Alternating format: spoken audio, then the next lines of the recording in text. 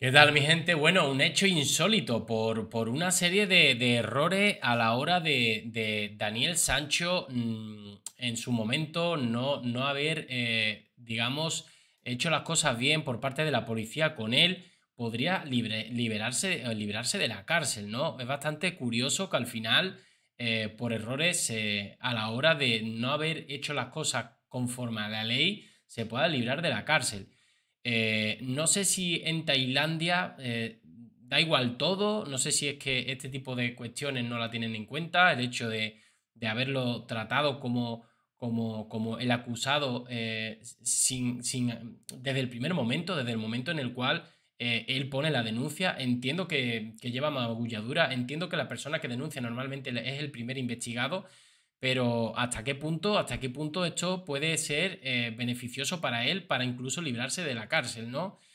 Vamos a ver qué dice el chismógrafo porque dice Vuelco el hecho clave y oculto que puede librar de prisión a Daniel Sancho. Muchos pensáis que estamos aquí hablando de, eh, de que hemos cogido cualquier medio digital y que, y que estamos haciendo clickbait y yo y mis compañeros, o mis compañeros y yo, mejor dicho, para nada. O sea, eh, estamos hablando de que esta noticia eh, del chismógrafo, pues eh, en el caso de Diario, si hablan esto es porque es así, porque puede pasar, ¿vale? De hecho, no sería la primera vez que pasa que, que algo que está todo perdido eh, da un vuelco simplemente pues porque no se han hecho las cosas bien anteriormente. Bueno, la defensa legal en Tailandia del joven cocinero tendría un as en la manga, es vital y tiene que ver en- con cómo se ha llevado todo el proceso de investigación policial, algo nada ejemplar.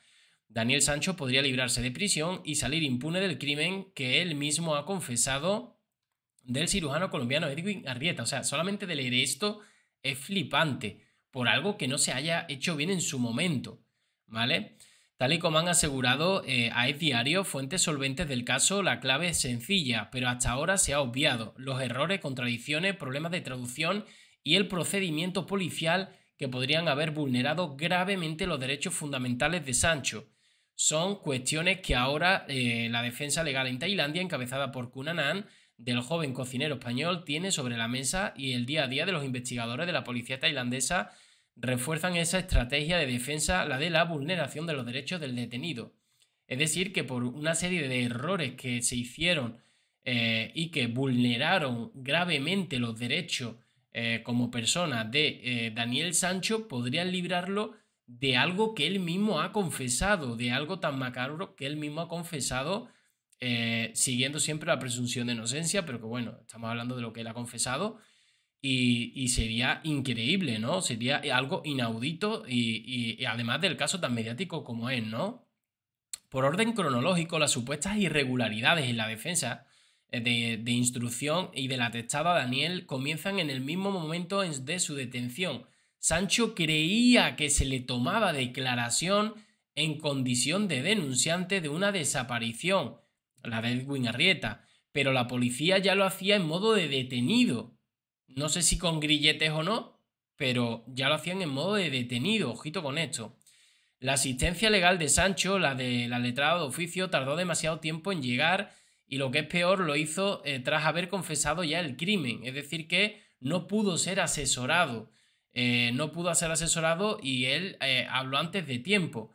Y claro, eh, para su defensa luego es complicado. A lo mejor la abogada le hubiera dicho no confiese o sí, puedes confesar porque va a haber evidencia, pero di que él te pegó primero, en fin, cosas que, que pudieran, digamos, aminorar o rebajar la- la condena, ¿no? Es evidente que el derecho procesal tailandés es diferente al español, al europeo, pero el derecho internacional recoge como uno de los primeros mandamientos que los detenidos tienen que estar asistidos de un abogado cuando declaran ante la policía. Claro, él ya había declarado, su abogado de oficio llegó más tarde. Eh, Daniel Sancho podría librarse. Es que lo pone aquí. Además, todas las declaraciones de Daniel Sancho, que figuran en el atestado policial que todavía se está elaborando, eh, podrían condenarse nulas por las precarias traducciones. Es verdad que también del inglés e incluso alguna al español. Eh, eh, estábamos hablando aquí de, de- un triángulo de idioma, del tailandés al inglés, del inglés al español. Imaginarse ahí lo que pudo pasar, ¿no? Cualquier error, cualquier coma, ya sabéis que cambia la frase por completo. Eh, que han caracterizado todas las pesquisas. Errores que podrían ser clave para anular todo el proceso y que afectarían tanto a las preguntas policiales como a las respuestas del acusado. Precisamente hace unos días les contábamos en el diario que Surachate Jaspar, eh, más conocido como Big Joke, lanzaba el bombazo informativo al reconocer que ante las cámaras del programa Código 10 de 4 que Daniel no ha estado desde el principio en la cárcel de Cosa Muy, lleva desde el principio en otra y que es trasladado a diario, el dibujito aquel, ¿no? Que ha dado tanto que hablar, desde otro centro penitenciario, ya que es ahí donde se le interroga y donde puede recibir las visitas de su madre Silvia Bronchalo, pero al final del día siempre le mandan de vuelta a la prisión para dormir, solo para dormir. Cuando la policía quiere eh, hablar con prisioneros, les tiene que sacar de la prisión para interrogarle, ¿vale? Su modus operandi, su forma, su protocolo de, actuación, ¿no? Es por eso que, según el policía tailandés, Daniel puede encontrarse, eh, haberse encontrado con su madre en cosa muy en una de estas visitas, lo que justificaría que Silvia acuda siempre al centro penitenciario de Cosa Muy y no a otro, ¿vale? Por eso mm, no nos cuadramos un poco, pero bueno, si ella está yendo a Cosa Muy, pues bueno, está allí un, está allí un rato y luego está en otra, en fin, lo van cambiando de sitio, ¿no? Pero todo se debió a errores de traducción y eso es lo que eh, se consultó con varios de los traductores, dada la sorprendente declaración. Errores de los que tal y como eh, aseguran la misma fuente a este diario son eh, plenamente conscientes los investigadores y de ahí que transcurridos ya 23 días desde que se produjera el crimen y casi dos semanas desde que dijeran que tenían el caso cerrado, no se haya presentado aún el informe atestado a la fiscalía. Creo que fue un error el querer cerrar el caso tan ligero, pero bueno, ese es otro tema.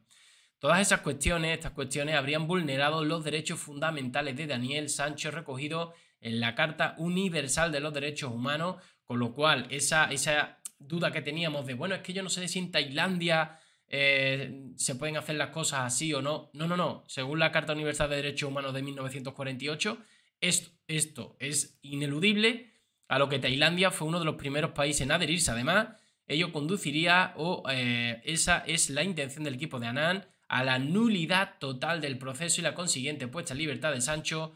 Todo queda en manos del tribunal. Sigo flipando de que una persona, por no haberse hecho, por la policía no haber hecho su trabajo presuntamente bien al principio, se pueda librar de la cárcel con lo que ha confesado, insisto, no lo estoy juzgando, con lo que ha confesado, si él fuera el, el que al final ha cometido el, eh, crimen a Edwin Arrieta. Bueno, eh, me gustaría saber vuestra opinión, vuestros comentarios. Nos vemos en el siguiente vídeo, mi gente, con más información. Un saludo.